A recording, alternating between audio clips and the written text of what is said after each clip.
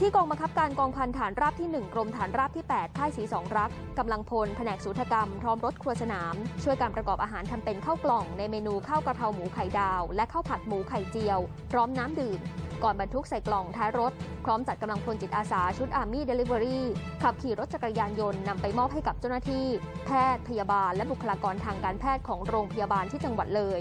ตลอดจนมอบให้กับประชาชนที่ไปรับบริการยังโรงพยาบาล รวมทั้งประชาชนที่อาศัยอยู่ในพื้นที่ เพื่อบรรเทาความเดือดร้อนและลดภาระค่าใช้จ่ายในครัวเรือน ให้กับประชาชนที่ได้รับผลกระทบจากโควิด -19 ซึ่งถือเป็นการส่งความห่วงใยจากทหารสู่ประชาชน และเป็นไปตามนโยบายของกองทัพบกในการช่วยเหลือประชาชนในทุกโอกาส